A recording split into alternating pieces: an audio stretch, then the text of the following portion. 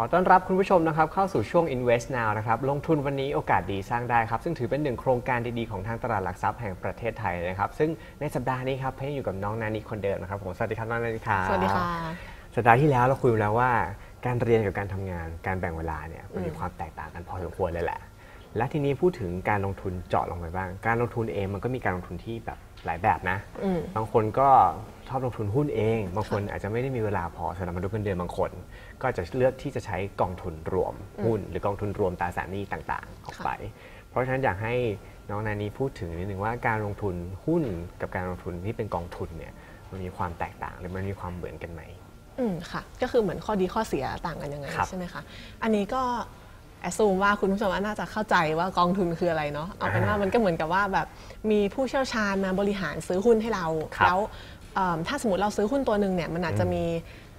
limit ว่าเฮ้ยเราต้องซื้ออย่างน้อยร้อยหุ้นนะครับแล้วบบางทีถ้าหุ้นมันตัวใหญ่เราอาจจะแบบไม่มีตังค์ซื้อหลาย ๆ ตัวอ่าอย่างปตท Advance อ่าอะไรเงี้ยที่หุ้นตัวละแบบสองสามร้อยบาท ใช่ค่ะถ้าสมมุติร้อยว่าหุ้นก็ประมาณเท่าไหร่ละ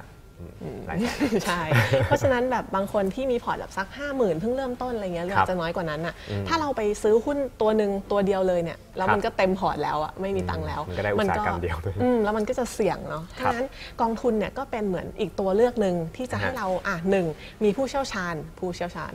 ครับบริหารให้ แล้วก็เขาสามารถแบบมีเม็ดเงินเยอะ เราก็คือเป็นส่วนหนึ่งในนั้นใช่ไหมคะเพราะฉะนั้นเงินเราแบบอาจจะซื้อแค่ 5,000อย่างเงี้ยครัแต่บว่ามันอยู่ในหุ้นแบบ 30 ตัวอะอืมมันก็แบบอะได้ได้กระจายความเสี่ยงได้เบาใจนิดนึง ก็หุ้นละสัก 20 บาทร้อยกว่าบาทอ่าใช่ถูกเฉลี่ยเฉลี่ยกันไปสมมติสมมอืติมแล้วก็อีกอย่างหนึ่งก็คืออาข้อดีของกองทุนก็คือว่าเราไม่ต้องเสียเวลาไปติดตามทุกตัวขนาดนั้น เราครัก็บอาจจะแบบถ้าเราคัดเลือกกองทุนมาแล้วอืมเราก็อะ อาจจะไว้ใจว่าโอเค ผู้บริหารคนนี้ทำให้เราเบาใจอาจจะเช็คทุกอืมทุกเช็คอินทุกๆหนึ่งเดือนหรืออะไรอย่างนี้ครับค่ะ แต่ข้อเสียของกองทุนก็คือเราจะเสียค่า management fee อืมซึ่งก็คือค่าบริหารจัดการอะไรอย่างเงี้ยค่ะอืมบางทีก็อาจจะ 1% 2%อันนี้ไม่แน่ใจไม่ไม่ค่อยได้แล้วสนแต่ใจกองตรงทุนนี้นะถูกอืมแล้วตอนนั้นที่ตอนนี้ระหว่างช่วงที่เราเป็นเรียนอยู่เนี่ยค่ะแน่นอนแหละตอนนี้เองมีเวลาจัดเต็มจัดเต็มในหุ้นเลยเลือกใช่ค่ะเองพิจารณาเองศึกษาเองหมดถูกอันเนี้ย และตอนเนี้ยเราเริ่มมาหันมาลงกองทุนบ้างยัง ใช่ค่ะก็ต้องเป็นกองทุนแล้ว เพราะว่าพอนานี้ทำงานเกี่ยวกับตลาดเนี่ยครับมันจะคอน FLICT กันนิดนึงก็เลยไม่อืมสามารถลงทุนในหุ้นได้ในช่วงฮะนี้นะคะ ก็ยอมรับว่าก็เสียดายเหมือนกันเนาะเพราะเราก็อืมแบบเป็นคนชอบลงทุนเองแต่ครับว่าพอมาทำงานสายเนี้ยก็ต้องพักไปก่อน2อสปีนะคะอืมจนกว่าจะออกจากงานหรืออะไรอย่างงี้อืมจนกว่าจะโดนไล่ออก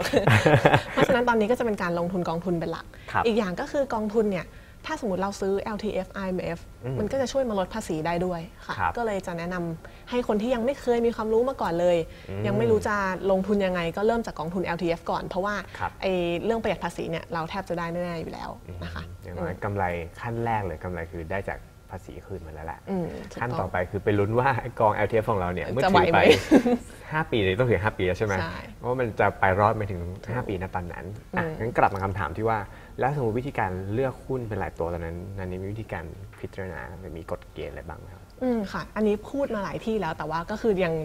ยึดว่าหลักนี้มันยังคำเดิมถูกใช่ค่ะก็คือว่าเอ่อเลือกหุ้นให้เหมือนเลือกแฟนอืมอืม ก็แต่ว่าสำหรับมือใหม่เนี่ยไม่ควรจะเลือกเหมือนเลือกแฟนด้วยซ้ำควรจะเลือกให้มันเหมือนคู่ชีวิตไปเลยจะได้แบบเซฟสุดอ๋อๆใช่ป่ะไม่ไม่ต้องซ่ามาก เพราะว่าครับหุ้นจะมีหลายประเภทแต่หุ้นแฟนนี้ถ้าเลือกแล้วเปลี่ยนนี่โดนใช่ใช่แต่หุ้นนี่เปลี่ยนได้ตลอดเราก็ยังยังถือได้หลายตัวด้วยครับโอเคใช่ ถ้าแฟนถือหลายตัวอาจจะไม่ใช่การกระจายความเสี่ยงเนาะเพิ่มความเสี่ยงมากกว่า ใช่ก็คือเอิ่มเลือกเอ่อบริษัทที่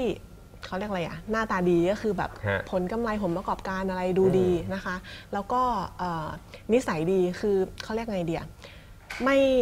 ไม่หลาะแหละไม่พูดจาเอ่อกลับไปโกกลับหกมาอะไรอย่างเงี้ยค่ะก็คือแบบไม่มีปัญหาเรื่อง corporate governance เอางี้ดีกว่าไม่มีการโกงยักยอกอะไรข้างหลัง ต้องชัดเจนนะ ใช่ชัดเจนแล้วก็ผลกำไรทุกปีนะคะ ยิ่งดีครับนะคะถ้ามีปันผลมาใช้จ่ายให้เราใช้จ่ายเนี่ยก็ก็อาจจะเป็นตัวเลือกตัวเลือกหนึ่งแต่ไม่ครับไม่จำเป็นขนาดนั้นนะคะแล้วก็ต้องทะเยอทะยาน ไฟดีนะคะไม่ใช่ครับแบบว่าอ๋อฉันก็คงไม่ขยายก็คงจะแบบทำอย่างนี้ไปเรื่อยๆอะไรอย่างนี้ชิวๆละอืมมันก็คือไม่มีการเติบโตนะคะอ๋ออ่าเราก็ครับต้องเลือกบริษัทที่มีนโยบายที่ดีภายในอีก5ปีจะโตยังไงจะทำยังไง แล้วก็ sensible คือแบบไม่ไม่เป็นนโยบายงี่เง่านะคะอืมอืมแล้วก็ควรจะเลือกตั้งแต่ตอนที่แบบเขายังไม่ค่อยมีคนสนใจอ๋ออ่าจะได้แบบไม่ overrate แล้วไม่มียังคนไม่ป๊อปปูล่าอ่าใช่ขนาดนั้น คือจีบตั้งแต่ยังเด็ก ๆ เลยว่างั้นถูเถกอะถูก เล็งว่าอนาคตนี่เติมมาต้องสวยแน่นอน ถูกอะไรอย่างงี้ค่ะอืมแล้วอันนี้คือการเลือกของหุ้นนี่การดูบริษัท ค่ะ แต่พอทีเนี้ยมันเป็นตัวของกองทุนละอืม ที่มันมีการรวบรวมมาแล้ว ซึ่งกองทุนเองมันอะสมมติพูดถึงกองทุนหุ้นก่อนละกัน ค่ะกองทุนตราสารทุนเนี่ยแหละครับอืม ที่เรารู้จักกัน มันจะมีหลายกองเลยนะบางกองเขาจะมีเขาจะมีชื่อแต่ละกองก็จะเป็นเหมือนบอกลักษณะวิธีการลงทุนแบบนั้น ค่ะ ซึ่งถ้าพูดถึงกองทุนเนี่ยอาจจะแบ่งได้เป็น 2 แบบเนอะเป็น อืม active กับ passive fund ค่ะ ถ้าพูดถึงตัว active ก่อนละกันอืมสมมติกลางกอง active บอกว่าลงทุนหุ้น small cap หรือค่ะหุ้นที่แบบเป็นขนาดเล็กหุ้นขนาดใหญ่อะไรเงี้ยอย่างเงี้ยเรามีวิธีการดูหรือวิธีการพิจารณาไงว่าไอ้กองทุนแบบนี้ดิมันจะถูกกับความต้องการของเราอะไรเงี้ยอ่าค่ะ เราก็ต้องดูเป้าหมายก่อนว่าเราอยากได้อะไรเนาะแบบฮะเราอยากจะลงทุนไปเรื่อยๆ เน้นแบบ ปันผลไหมก่อนดีกว่าครับอะคือเราตอนแรกเลยเนี่ยเข้าไปก่อนที่ Morning Star Thailand อืมนะคะก็จะมีรวมทุกทุกกองทุนทุกประเภทครับแล้วเราก็จะสกรีนได้ว่าเราต้องการแบบไหนอะเราก็จะเริ่มก่อนว่าอะต้องการกองทุนผสมกองทุนหุ้นกองทุนอะไรอย่างนี้ ก็อย่างที่ฮะพี่เพชรบอกก็อะครับเลือกกองทุนหุ้นอืมเสร็จก็จะมาแบ่งเป็นเอ่อปันผลไหม เราแบบอืมจำเป็นต้องได้รับปันผลหรือเปล่าหรือเราชอบครับ ที่แบบถ้าเขากำไรก็คือวนต่อไปเรื่อยๆอะไป reinvest ใหม่เรื่อยๆ ใช่ อย่างสำหรับนานี้เนี่ยก็คือจะไม่ค่อยสนปันผลเท่าไหร่เพราะตอนนี้มันไม่ใช่ช่วงเก็บเกี่ยว มันเป็นช่วงสะสมนะคะสำหรับคนยังที่ไม่ยังได้เด็กช่วงอยู่ ใช้ ใช่ เพราะฉะนั้นอะก็เน้นเรียนเวสไป ครับแล้วก็จะมีเรื่องว่าอะอยากได้แบบประหยัดภาษีไหม ถ้าประหยัดภาษีมันก็จะมี LTF IMF อะไรเงี้ย ครับหรือถ้าเป็นธรรมดา มันก็จะไม่ไม่ได้ช่วยเรื่องภาษีเท่าไหร่นะคะอืมอะก็คือสกรีนไปได้เรื่อยฮะ ๆทีนี้อ่า เราก็ต้องมาดูว่าแล้วเรารับความเสี่ยงได้แค่ไหนอืมถ้าถ้าเสี่ยงมากเนี่ยก็อาจจะแบบดูพวก small cap เพราะ small cap เนี่ยมันจะมีการเหวี่ยงเยอะกว่า แต่ว่าเวลาที่มันโตเยอะเนี่ยมันก็คือโตกว่า index ครับเยอะจริง ๆ อะไรแบบนี้ แต่ว่าก็ต้องรู้เหมือนกันว่าเวลาตลาดลงเนี่ยไอ้พวกนี้มันก็ลงมันก็หนัลกงกว่าหนักกว่าเหมือนกันใช่เพราะงั้นก็คือต้องดูด้วยว่าเรารับความเสี่ยงได้แค่ไหนอ่าแต่ถ้าซื้อ LTF เนี่ยจะไม่ค่อยห่วงเท่าไหร่เพราะว่าครับ LTF เขาก็จะมีเขาเรียกว่าอะไรอะเราเราล็อกอยู่แล้วอะว่า 7 ปีปฏิทินหรือว่าอ่า5ปีเต็มๆ เพราะงั้นเราอยากขายเราก็ขายไม่ได้ อันนั้นก็แบบอืมอะอาจจะช่วยไม่ให้เราคันมือขาย ก็ยังไม่ต้องคิดมากขนาดนั้นครับสำหรับนางนี้เอาง่ายๆเลยคือไป Morning Star ปุ๊บ สกรีนทุกอย่างเสร็จแล้วก็เลือกที่มันแบบดาวเยอะๆไว้ก่อนอืมอะพอเอาสัก4 5ดาวครับเพราะว่า4 5ดาวนี้เขาเลทจากแบบความเสี่ยง แล้วก็เลทจากผลประกอบผลเขาเรียกอะไร performance ครับมา 3-4 ปีอะอืมพอได้4 5ดาวปุ๊บ ได้ที่เราชอบปุ๊บนางนี้ก็จะเข้าไปดู แล้วก็ลองพิจารณาคืออันนี้ส่วนตัวนะคะครับอ่าทำเองเลยก็คือเข้าไปดูว่าไอตอนเนี้ยเขาถือ top holding อะไรอยู่อืมจริง ๆสำหรับนานี้นะคะก็คือใช้ไอ top 10 holding เนี่ยเป็นที่